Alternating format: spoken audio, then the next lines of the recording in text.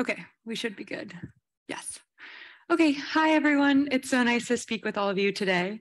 Um, it's interesting giving a talk at a social curiosity workshop because um, I was remarking last night that probably the thing I'm most curious about right now is what you all think of this talk, um, which is a, a, little bit of a funny position to be in.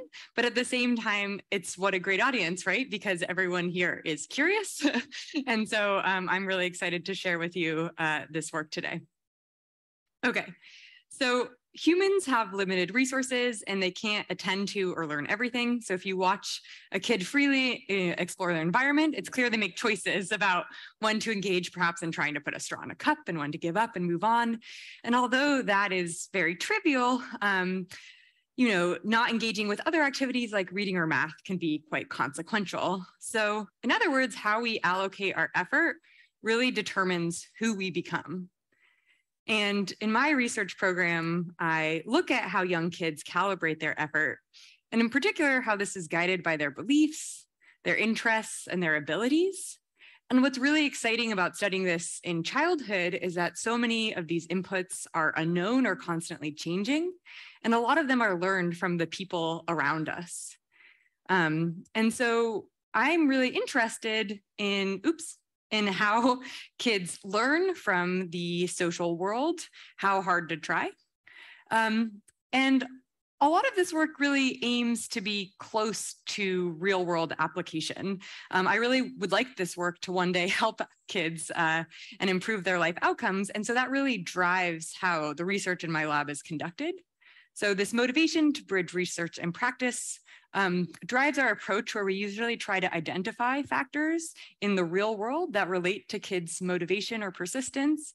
And then we try to run carefully controlled studies to test for causality. Um, sometimes these work in reverse. Um, and then the goal is to scale up one day to real world interventions. And today I'm just gonna walk you through one way, um, one of our studies that's been using this approach. Okay, and so to start off uh, to start off with, we wanted to identify factors that related to kids' persistence in the real world. So we looked at how parents behaved when their kid was faced with a challenge, and we wanted to see if any of these behaviors related to children's persistence. So we measured parenting behavior um, during a five minute parent child interaction task where they played with these Whipsy puzzles. These are not commercially available, so they're novel. Um, and we made sure that they were um, a little hard for these kids because they're standardized. Um, and we just wanted to see how does the parent um, interact with their kid when their only task is see how many of these puzzles your child can create. Uh, and we coded parent behavior based on past correlational parent-child interaction work. We coded their encouragement, so something like keep trying, indirect instruction, find a piece that looks like this, pedagogical questions, does that look like the picture? Direct instruction, put the red piece here, giving up, let's go on to the next one, and taking over, where a parent really places in a piece for the child. Um, and we wanted to see which of these behaviors related to children's persistence outside the lab and so to get a measure of kids' generalized persistence, we relied on this questionnaire, uh, the um, uh, Colorado Childhood Temperament Inventory, the attention span persist um, subscale, which gets at things like, in general, my child persists at tasks until successful. Okay, so let me show you what this looks like. It says, see how many of these puzzles your child can make. You have to wait a minute. There you go. Make this one. So this one would be, look at the picture. All red, a half red. You see how it is? Right there. So it would stay right here. All red, because there's only four. One, two, three, four. Good. Good. Okay. All right, let's see another example. See how many of these puzzles your child can make. Are you ready? Look, we're gonna make this one first. What? Can you do it? Do it fast, come on. Do it just like this one. So what is, what color is this one in the corner? It's all what? Red, red, Right. red. And this one is half and half, right? So do the, put all the three reds together. No, like this. How many are here? One, two, right? And then you put one on top, good job. Does that look like that? No. No, let's try again, okay? Good. Now, look at this. This one is right, but it's not in the right spot. Can you switch those around and see if that looks better?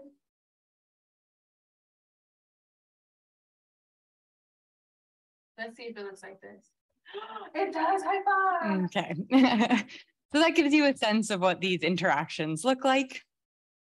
And so first we can just see how these parenting behaviors relate. Um, and perhaps unsurprisingly, these more positive parenting behaviors like indirect instructions and pedagogical questions correlate. Um, what can be seen as these more negative behaviors like taking over and giving up correlate. And these two sets of behavior are inversely related. And if we just look at the averages, uh, parents use a lot of encouragement. Um, they don't give up that much, about once per the five minutes. They maybe move on, and they take over about five times per session, so some somewhere in between. Um, but remember, the real question was which of these behaviors relates to children's trait persistence? So across all of these behaviors, the only one that related to trait persistence was this taking over behavior. So the more pieces of the puzzle parents placed for their kids, the less persistent they rated them. And this held when controlling for age, education, income, sex, race, ethnicity, and kids' fluid IQ. So it doesn't have to do with their intelligence. Um, so um, this was pretty intriguing, right? We were surprised actually when this when we first looked at this that this was really the only um, relationship that came out. Now I actually have this data set in a larger sample, and this is still the only relationship that comes out. So um, I, I have more faith in this now. But of course, you're probably wondering, uh, why, right? The causal direction is unknown. This is a correlation. And it could just be that parents are reacting to their kids' persistence. So maybe they know, oh, my kid doesn't, you know, try very hard and I really want them to succeed here. So I'm just going to take over. Um, but it could also be that parents are causing their kids to persist less because kids could learn something like, oh, maybe I'm not competent here. Or, you know what, my parents are just going to do it for me. So why should I even try? Um, and so there's, of course, many other reasons, but we wanted to test this second one with an experimental study. And so we randomly assigned kids to one of three conditions. In the taking over condition, they did these same puzzles twice, and now in a museum setting. And the experimenter, after about 10 seconds, was like, you know what, this is pretty hard. Let me just do it for you. And in the teaching condition, we had kind of like that second mom who was who was really good at teaching her kid. And we had the experimenter cover up the blocks in a very systematic order and, and guide the kids through doing it without placing any pieces themselves. And then we had this baseline no manipulation condition we gave the kids this puzzle box that looks like it could open up a few different ways, but is actually secretly impossible to open to control for individual differences in kids' um, IQ.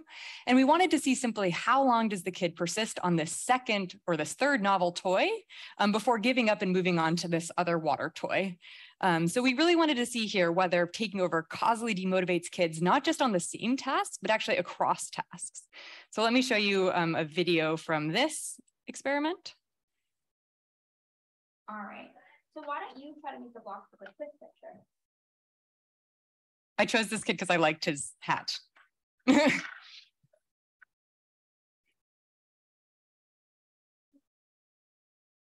hard, huh?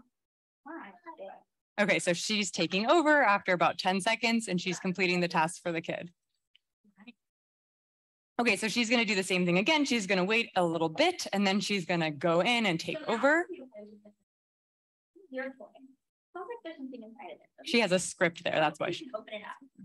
You can play with it and see if you can open it up. And if at any point you feel like you can't do it, you can go and play with this other toy and I'll come help you. Okay? Okay, so now he's shaking it. There's something inside.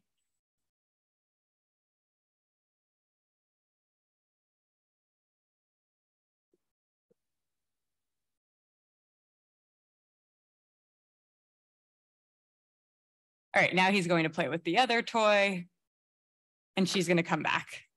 And now let's see what the teaching condition looks like.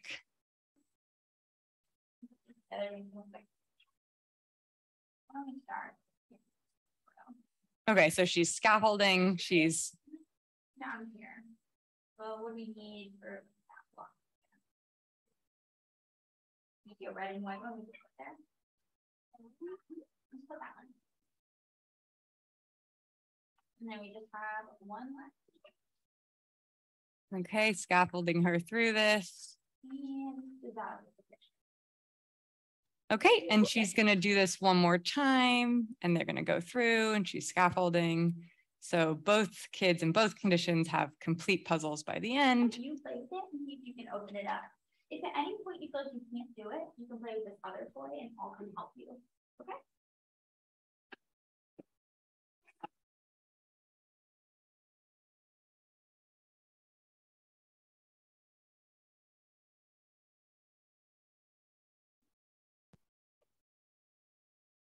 Okay, so she persists the full four minutes before we have to cut her off and you can see she's working pretty hard here. Okay, so let's um, first look at the baseline condition. So this is how long they persist in seconds. And I've run this kind of paradigm enough now to know that this is pretty much what we get every time we run baseline condition is a bunch of noise, huge variance in how long kids persist. Um, but what happens in the taking over condition is kids persist about a minute less than kids in the baseline condition. Um, and they also persist, persist about a minute less than the teaching condition. So this really shows that taking over causally demotivates kids across tasks. Um, and you might be wondering, why is the teaching condition not different than the baseline condition? We thought that it might be, um, but really we're not teaching them anything relevant about the next task per se. If anything, we're showing them that this is kind of hard and they might need adult assistance. Um, so that's why we think we're not pushing them above the baseline condition uh, potentially in that, in that um, condition. And I want to note that it doesn't provide evidence that the parents I showed you in that first study are causally demotivating their kid. It simply provides evidence that these same sets of behaviors can causally demotivate children. Okay, so we identified a real world behavior that correlates with children's persistence. And in a carefully controlled study, we found that it causally demotivates them as well. So this, of course, brings up a number of uh, questions. And one of them that we're working on right now is why is this the case? Why is taking over demotivating? Um, so does it signal something about the kid's competence? Is it that they're not capable of doing the task or rather something about their autonomy, that someone will always just step in and do this for them? And so my graduate student, Rayu, is working on that. Um, but, the, but the study I'm gonna tell you about next today is why parents are doing this in the first place. Um, and this question is really important to understand if we want to intervene, right? We need to understand how to change this behavior. And so we're trying to understand why parents are taking over and if parents learn to take over less, will that lead to their kid being more persistent? Um, and this is work led by Rayu and also Mika, who's here today. um, okay. Uh, and so this is an important question to understand also because it turns out that in America, this behavior is becoming more and more prevalent. So it's being covered in news articles. There's tons of books right now on the overparenting epidemic, um, also in TED Talks. Um, I don't think this is an international trend. this is this is actually something that I'm really curious to talk to you guys about. I, I think this might be a very, I mean, all the literature is about America um, and so this is where I feel weird talking to an international audience, but let me tell you about the problems in the US right now, and we can talk about whether this is a problem uh, elsewhere later. So if taking over has all these negative consequences and there's all these books written about it, why are parents doing it? There's shockingly little research on this question. So this is what I'm hoping to kind of fill in today.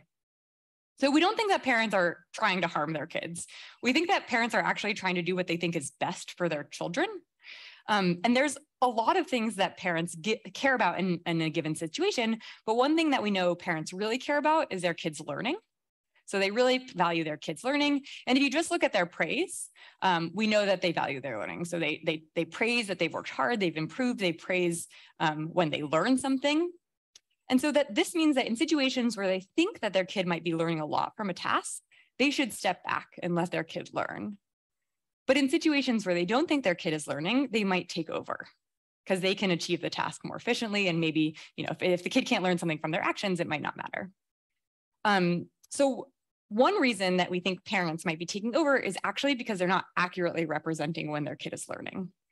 And we think that they might really be underestimating learning on non-traditional tasks, like putting on, or non-traditional, non-academic tasks. These are actually everyday tasks, um, like putting on clothes or cleaning up versus more traditional academic tasks like writing. So in our first study, we just wanted to see whether parents' beliefs about their child learning relates to their taking over behavior. And we ran this on CloudResearch for parents of four to five year olds. I also want to note that we are studying this in a younger age range than has usually been looked at. People talk about this as helicopter parenting. Is that a term in Europe? Okay. Um, and that's usually with older kids because this kind of parenting is much more obvious in older kids than it is in younger kids. But this is why I think it's so interesting to study in young kids because I think parents a lot of times don't know what their kid are, is capable of. Um, so we told kids, kids, we told parents, imagine your child is struggling to do some non-academic tasks like clean up toys, put on clothes, open a container, brush their teeth or some academic tasks, traditionally academic, like sorting objects based on shapes, solving puzzles, and tracing letters. Remember, these are four and five year olds. Um, and then we asked them how likely are they to step in and complete the following tasks for their kids. We gave them a filler questionnaire, and then later we had, you know, we asked them if they tried on their own, how much would they learn? And so we, what we saw is collapsing across all the conditions. Um, as we hypothesized, parents are more likely to take over when they think that their kid is learning less or will learn less from the actions on their own. And what's interesting is that parents report taking over way more on these non-academic tasks. And they also think that their kid will learn less on these non-academic tasks. Now, importantly, kids, uh, adults differentiate academic and non-academic tasks, but kids likely don't, right? These are four and five-year-olds. And so it's possible that parents taking over on these non-academic tasks might actually spill over and impact kids' persistence on other tasks. Um, so parents' misaligned representations of learning may have real world consequences. And remember, I just showed you that when adults take over, um, the demotivating effects actually transfer across domains.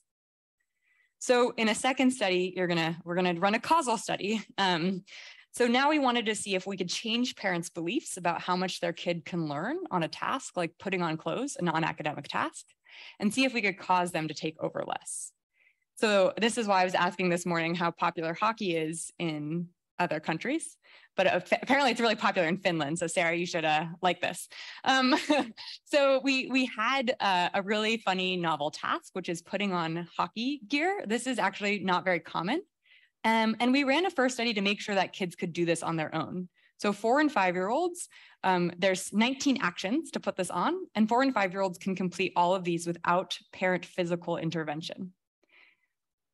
Okay, so we wanted to see whether we could manipulate parents' beliefs about how much their kid can learn from that and whether that would change how much they take over. So this is how the experiment went. Oh, uh, parents read a note. This might be small for you, but I'll read it here. Parents read, before we start our activity, your child needs to put on hockey clothes. I will soon explain how to put them on. Feel free to help your child as much or as little as you want. And then we said something like fun fact, children learn a lot from putting on clothes themselves. They learn things like motor skills, problem solving, and self-confidence. The skills children learn from putting on clothes help them develop into capable and independent adults.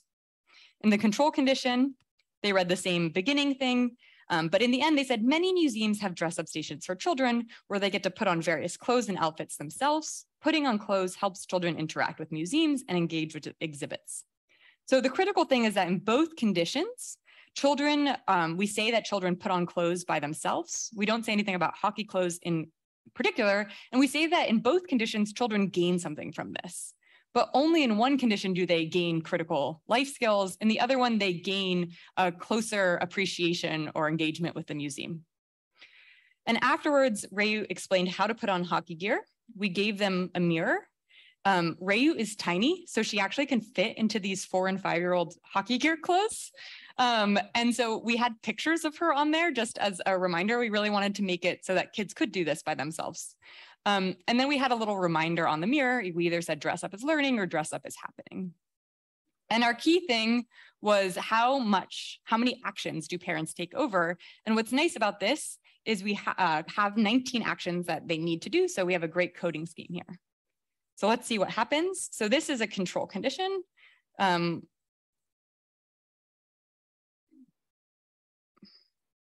Okay, so immediately, um, remember these kids can put on these clothes by themselves, but immediately the mom just is like, I'm gonna do this. And the kid is very passively uh, and happily uh, being allowed to have these fun hockey gear put on them.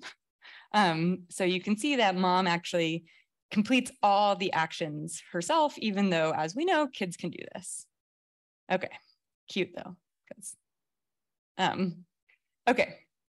And here's what the learning condition looks like. So we see that, you know, the parent is letting the child approach, get the hockey gear. Um, the kid is asking mom for help and the mom says, go look in the mirror. And the kid looks in the mirror and, you know, first, okay, drops it. You know, it's a little bit of a struggle here, but the mom is um, sitting back and actually the kid puts on all the hockey gear themselves. Okay, for the sake of time, we're gonna keep going. Okay, so what did we find? Well, we did this with 60 parent-child pairs. And in the control condition, we find a lot of variance. So there's some parents that do all the actions for the kid. There's some parents that don't do any, but on average, parents take over about eight out of 19 actions. Um, and the critical question is what happens when parents are prompted to think about what their kid could learn from doing this? Well, they take over about half as much. So now they're only taking over for about four out of 19 actions. Um, so we really squashed the variance and turned parents into low intervention parents um, through this simple manipulation. Uh, and I wanna note, we, we actually didn't find any age effects here for, I thought maybe we would because, you know, five-year-olds are potentially more competent than four-year-olds at this, but we didn't find any age effects in how um, their parents treated their kids or any effects of condition. Okay, so why do parents take over? Well, one reason, maybe because they don't think their kid is learning. And importantly, parents might not always be accurately representing when their child can learn, especially on these non-academic tasks. So parents might be unnecessarily intervening in their child's learning, especially on these non-academic tasks and inadvertently hurting their children's chances of developing competencies across domains. And we also found that these uh, beliefs are pretty malleable from just a quick intervention. Okay, but I'm not going out and saying, now we all we have to do is tell parents to think about learning, right? Clearly, that's not going to do the trick because I know there's parents in this room um, and we're not ready to scale up to interventions because instead, we actually think that the effectiveness of this intervention is bounded by constraints like time that may urge parents to prioritize other things like the outcome rather than their kids learning in any given moment. So time famine is a feeling that you have too much to do in too little time. And this is very, very prevalent amongst parents of little kids. Um, and as Charley Wu has shown, uh, right, time, time uh, constraints might have people prioritize goal completion or exploiting over exploring. Uh, we're kind of uh, inspired by that literature. And so um, we did a two by, our next experiment is a two by two crossing learning, whether we emphasize it or not, and time pressure. Um, and so we haven't run this yet. So uh, this is where I show you fake data of what we predict to find. Um, but we predict, it, it's important to note actually in that first study I showed you that we told parents take all the time you want. We knew that time, or we hypothesized that time pressure would be a huge um, variable here. And so in that last study, we gave them no time pressure very explicitly. And so we expect that in our learning conditions, um, when, when we have time abundance, no time pressure, that we'll find the same effect, that learning will, if we prompt parents to think about learning, they'll take over less. But when we tell them that they don't have a lot of time, that they're under some sort of time constraint, we expect them to take over way more and we're not really sure what will happen in the learning condition, but my hypothesis is that they might prioritize task completion over their child's learning here.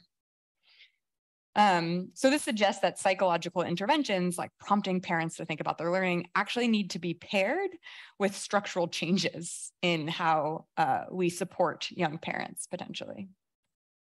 So our theoretical framework looks something like this parents take over when they don't value the process. So this is what we looked at with learning. So when they don't value what their kid can gain potentially from doing the task themselves. And when they really value the outcome. So that's something that we think might happen under time pressure. You just want to get the thing done. And critically, in most situations, you're weighing both of these, right? I've looked at them individually, but I'm hoping in this two by two to put them together Um, because we really think that what happens when parents take over is they're valuing the outcome more than what their kid can learn in a given moment. And at a time of increasing income inequality, higher stakes for educational attainment, and feelings of time pressure, parents might be really prompted or feel the need to make sure that their kid is successful um, at the stake of their kids' learning.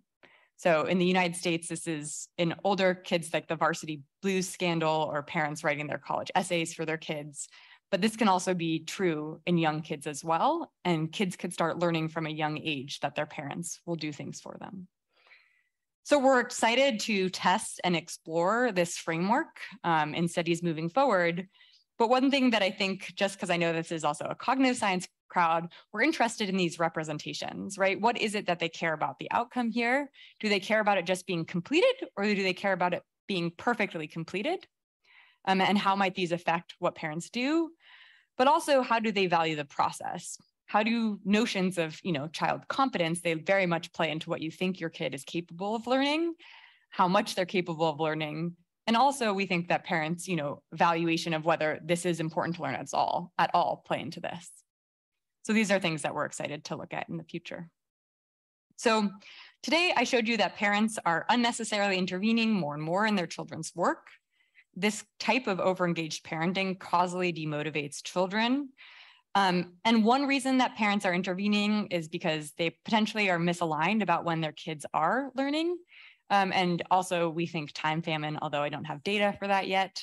So we're really not ready to scale up to an intervention. Uh, that's gonna be a little bit of time from now. But in the meantime, what's cool is that my work is making an impact, at least on my friends. uh, so this is a video that was sent to me from a colleague in Brazil. And he says, hey, this is my young boy playing. I remembered some of your work on babies when I decided not to help him, which sounds kind of cruel, but just watch this video.